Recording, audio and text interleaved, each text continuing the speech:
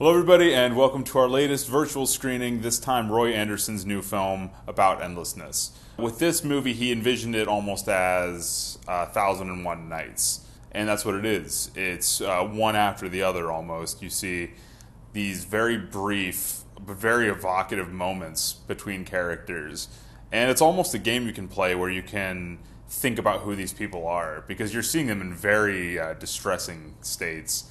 It's a short movie, but it feels like it, you know, it's endless in a way because it's really just one story after the other.